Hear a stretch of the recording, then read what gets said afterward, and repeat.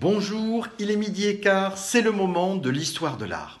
Aujourd'hui, je vais faire dialoguer un texte d'un historien de l'art, maître de conférence, et une œuvre archi célèbre, puisqu'il s'agit de cette affiche de Toulouse-Lautrec, Moulin Rouge Lagoulu, une lithographie qui date de 1891, et cette version qui est ici euh, provient des collections du Metropolitan Museum of Art de New York, mais il en existe bien sûr d'autres tirages.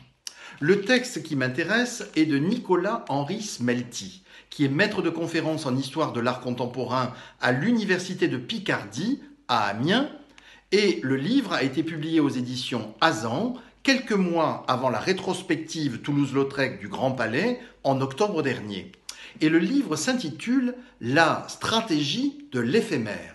Un titre intéressant puisqu'en fait il a un double sens. D'abord, il fait référence au travail de Toulouse-Lautrec sur le dessin de presse, sur la lithographie et surtout sur l'affiche illustrée que l'auteur qualifie de reine des images fugitives en cette fin du XIXe siècle.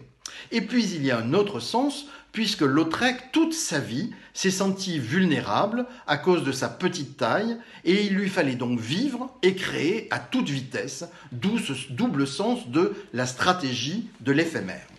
Alors, que dit Nicolas-Henri Smelty de cette célèbre affiche?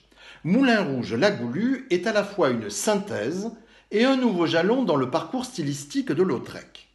Plusieurs éléments de composition semblent avoir migré du tableau Dressage des nouvelles par Valentin le Désossé. C'est un grand tableau qui date de 1890, c'est-à-dire un an avant cette lithographie, et c'est un tableau qui est conservé au musée de Philadelphie. Donc des éléments qui ont migré du tableau vers l'affiche, à commencer par les protagonistes principaux, que sont Valentin le Désossé que vous voyez au premier plan, et la Goulue que l'on voit au centre en train de, danser, euh, qui, qui, semble sortir de ce bouillonnement de jupon blanc. L'apparence et la gestuelle de la Goulue évoquent la nouvelle recrue du tableau de Philadelphie. Quant à Valentin, il apparaît à nouveau de profil, mais sa maigre silhouette vient cette fois s'inscrire au premier plan et son corps noueux semble totalement disproportionné. Difficile à identifier au premier regard l'étrange forme molle et jaune à sa gauche. C'est en fait une grappe de globes lumineux. Effectivement, Toulouse-Lautrec veut souligner l'apparition de nouveaux modes d'éclairage dans les lieux de spectacle parisiens. C'est également le même plancher qui, dans les deux œuvres, fuit vers le fond de l'image et creuse l'espace, sans grand respect pour les règles de la perspective géométrique. Lautrec bouche enfin l'arrière-plan en reprenant le principe de la frise de spectateurs qu'il transforme en une espèce de palissade humaine en ombre chinoise, ce qui n'est pas sans rappeler les fameuses silhouettes du théâtre d'ombre du cabaret du chat noir, à Montmartre bien sûr on observe un rigoureux travail d'épure au niveau du dessin, notamment dans la représentation de Valentin le Désossé.